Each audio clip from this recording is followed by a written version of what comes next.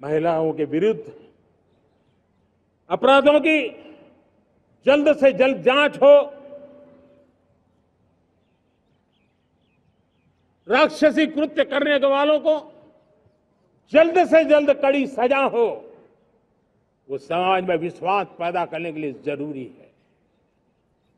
मैं ये भी बताना चाहूँगा कि जब बलात्कार की या महिलाओं पर अत्याचार की घटनाएँ घटती हैं तो उसकी बहुत चर्चा होती है, बहुत प्रचार होता है, मीडिया में छाया रहता है।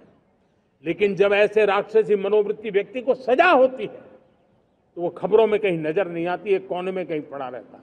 अब समय की मांग है कि जिनको सजा होती है, उसकी व्यापक चर्चा हो ताकि ऐसा पाप करने वालों को भी डर पैदा हो कि ये पाप करने की हालत ये होती है कि फांसी पर लटकना पड़ता है।